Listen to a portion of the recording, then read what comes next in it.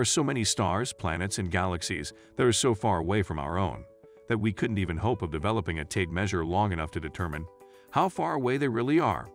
On the other hand, astronomers regularly talk with confidence about how far away stars and galaxies are, but how is it possible to calculate such distances?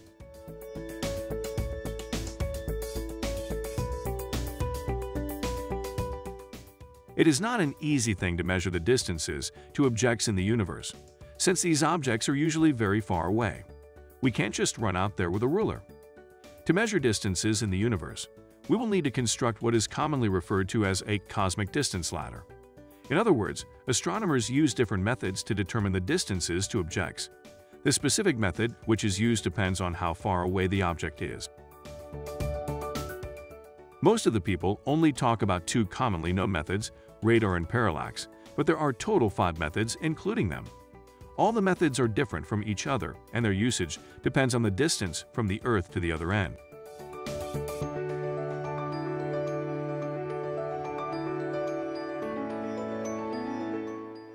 This method has been used in one form or another to determine the distances to all of the planets in our solar system, except Pluto, which we have not visited.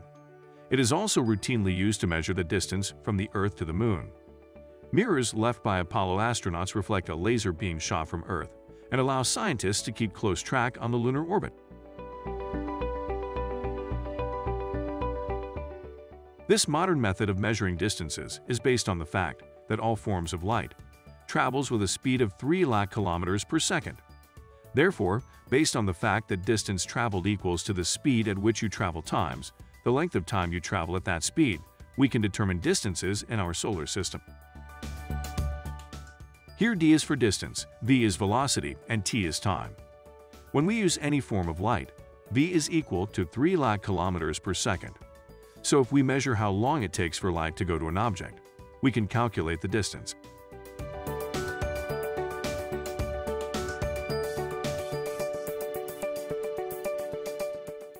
Astronomers derive distances to the nearest stars closer than about 100 light-years by a method called stellar parallax. This method relies on no assumptions other than the geometry of the Earth's orbit around the Sun. You are probably familiar with the phenomenon known as parallax. Let's understand this method first. Hold out your hand, close your right eye, and place your extended thumb over a distant object. Now, switch eyes, so that your left is closed and your right is open. Your thumb will appear to shift slightly against the background. By measuring this small change and knowing the distance between your eyes, you can calculate the distance to your thumb. This is a demonstration of the parallax effect, the apparent shift in position of a relatively nearby object against more distant ones when viewed from different vantage points. Now consider that the Earth moves in its orbit around the Sun, allowing us to look at nearby stars from slightly different locations just like your two eyes are at slightly different locations. As the image shows, you can see that by knowing the size of Earth's orbit and measuring the angles of the light from the star at two points in the orbit, the distance to the star can be derived. The farther the star is, the smaller the angles.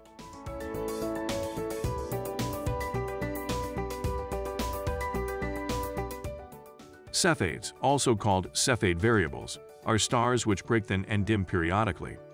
This behavior allows them to be used as cosmic yardsticks, out to distances of a few tens of millions of light-years.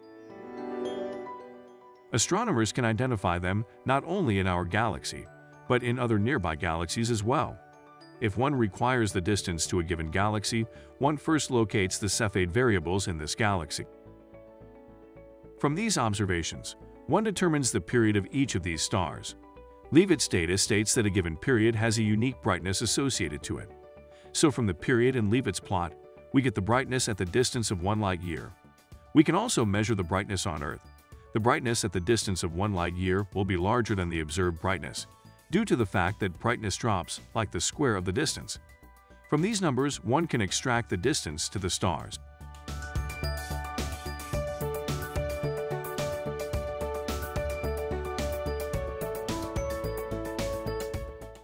At large distances up to about 1 billion light-years, astronomers can no longer use methods such as parallax or Cepheid variables. Astronomers then turn to a series of methods that use standard candles, that is, objects whose absolute magnitude is thought to be very well known. Then, by comparing the relative intensity of light, observed from the object with that expected based on its assumed absolute magnitude, the inverse square law for light intensity can be used to infer the distance. The unique characteristics and enormous brightness of a certain type of supernova the explosion which can occur at the end of the main sequence life of a massive star can be used to determine distances beyond the reach of the previous methods. There have been many measurements of the manner in which a supernova, whose distance to Earth is known using one of the previous methods, increases its brightness and then dims into oblivion. There is one type called type Ia for which this brightening and dimming is very regular. When the maximum brightness at a distance of 1 light year is calculated using the known distance and the one-half of distance to rule, it is found to be about the same for all stars. Such type Ia supernovae are then our standard candles. Since supernovae are extremely bright, this method is useful to very large distances, up to 1 billion light years.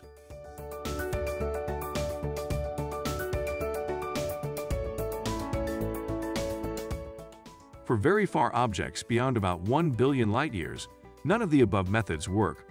Scientists must move from direct observation to using observations in conjunction with a theory. The theory used to determine these very great distances in the universe is based on the discovery by Edwin Hubble that the universe is expanding. In 1929, Edwin Hubble found that the universe was expanding, with all of the galaxies moving away from each other. This phenomenon was observed as a redshift of a galaxy's spectrum.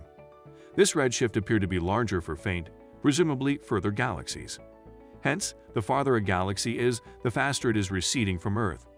The velocity of a galaxy could be expressed mathematically as v equals to h. Multiply with d, where v is the galaxy's radial outward velocity, d is the galaxy's distance from Earth, and h is the constant of proportionality, called the Hubble constant.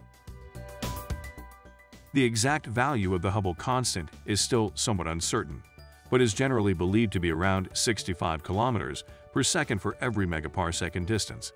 This means that a galaxy 1 megaparsec away will be moving away from us at a speed of 65 kilometers per second, while another galaxy 100 megaparsecs away will be receding at 100 times this speed. So essentially, the Hubble constant reflects the rate at which the universe is expanding. So to determine an object's distance, we only need to know its velocity. Velocity is measurable, thanks to the Doppler shift. By taking the spectrum of a distant object, such as a galaxy, astronomers can see a shift in the lines of its spectrum, and from this shift determine its velocity. Putting this velocity into the Hubble equation, they determine the distance. It should be noted that this method is based on observation and on Hubble's law theory. If the theory is not correct, the distances determined in this way are all nonsense. So now we know how do we measure the distances to things in space. If you think this video is informative, do like this video and subscribe our channel. May science bless you.